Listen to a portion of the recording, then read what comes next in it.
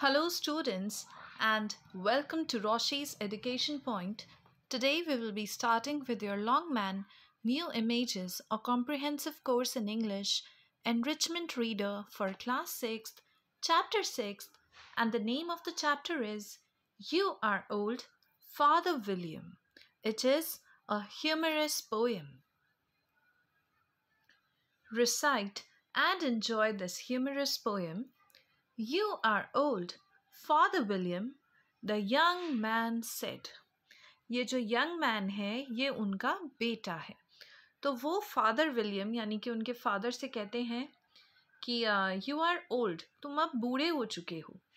And your hair has become very white आपके बाल भी बिल्कुल वाइट हो चुके हैं। जैसे जैसे अपनी एज ओल्ड होती जाती है आपके बाल जो होते हैं वो वाइट कलर के होने लग जाते हैं।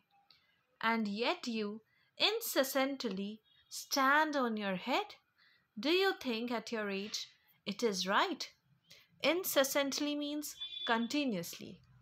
आप बूढ़े हो चुके हो आपके सिर पे वाइट बाल आ चुके हैं फिर भी आप बार बार अपने सिर के बल खड़े हो जाते हो क्या आपको लगता है इस एज में ये सब करना सही बात है in my youth Father William replied to his son, I feared it might injure the brain.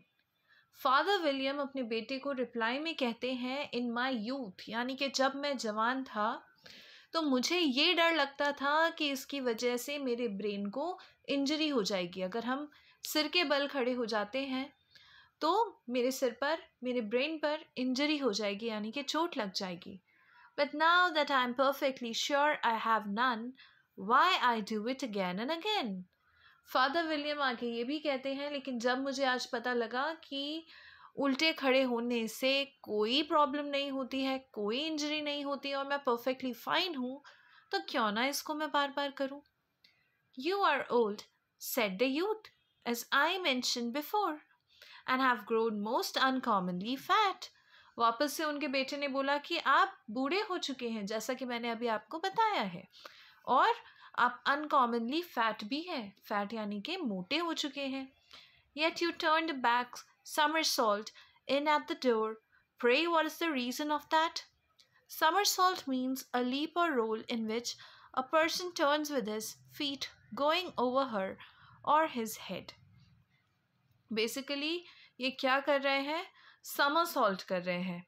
तो क्या रीज़न है इस चीज़ का? आप इतने फैट हो चुके हो बूढ़े हो चुके हो तो ये सब करने के पीछे क्या रीज़न है?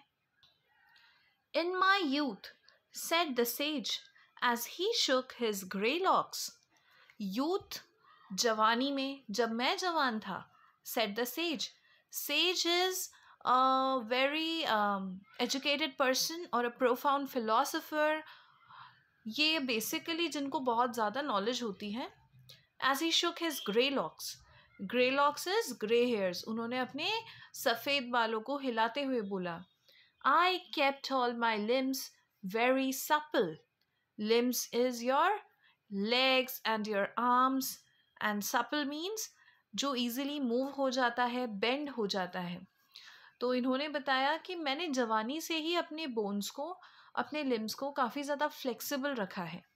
By the use of this ointment one shilling the box allow me to sell you a couple.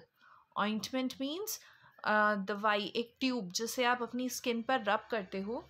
तो इस ऑइंटमेंट को यूज़ करके, जो कि वन शिलिंग का आता है एक बॉक्स इसकी वजह से मैं अपनी बॉडी को, अपने लिम्स को फ्लेक्सिबल रख सकता हूँ।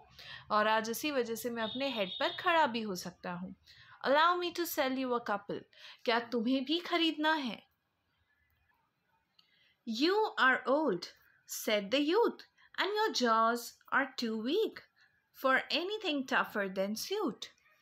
Basically, you are old. Again उनका बेटा बोलता है आप बूढ़े हो चुके हैं। आपके जॉज यानी कि जो जबड़े होते हैं काफ़ी ज़्यादा वीक हो चुके हैं और आप ज़्यादा नहीं खा सकते हो for anything tougher than suet suet is fat of an animal तो एनिमल के फैट के अलावा आप कुछ नहीं खा सकते हो। Yet you finished the goose with the bones and the beak Goose is a water bird with a long beak, long neck sorry एक वाटर बर्ड है जिसकी बहुत बड़ी सी नेक होती है उसे गूज बोलते हैं। तो ये जो इनके फादर हैं ये गूस खा लेते हैं बोन्स भी खा लेते हैं बीक भी खा लेते हैं जबकि इनकी एज में तो बहुत ज़्यादा जॉज वीक हो जाने चाहिए थे। Pray how did you manage to do it अब उनका बेटा पूछ रहा है ये सब कैसे कर लेते हो? कैसे मैनेज कर लेते हो?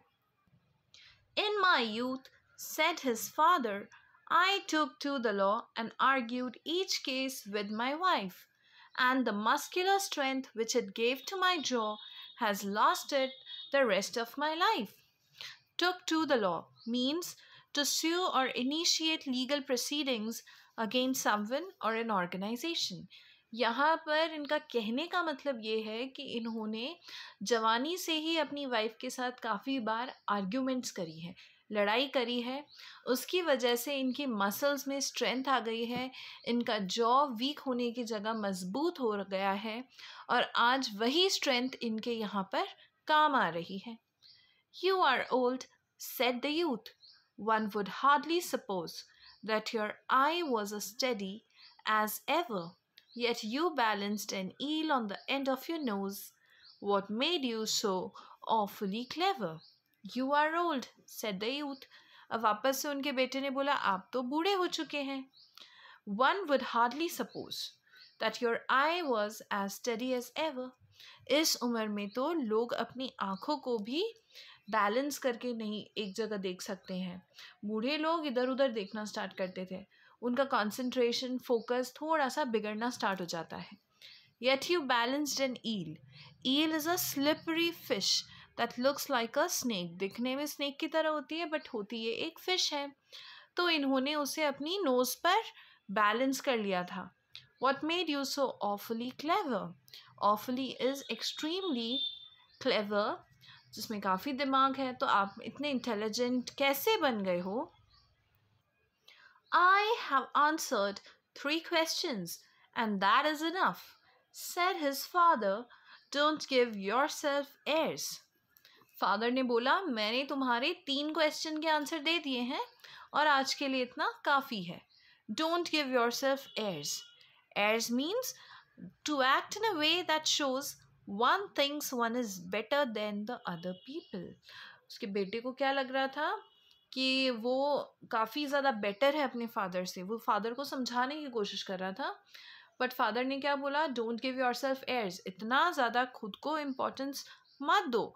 ये शो मत करो that you are better than the other do you think I can listen all day to such stuff be off or I kick you downstairs उनके फादर ने बोला, मैं दिन भर, क्या तुम्हें लगता है ये सारी बातें सुनूँगा तुम्हारी? या तो खुद यहाँ से चले गो चले जाओ या फिर मैं तुम्हें किक करके नीचे भगा दूँगा। So this poem was written by Lewis Carroll I hope you understand it Lewis Carroll is a pen name original name is Charles Lutwidge so yes I hope you understand it if you having any doubts you can write me the comment section below if you want contact me my email I D is provided in the description box And uh, if you're watching my video, kindly subscribe my channel and hit the like button. Thank you so much. Keep watching.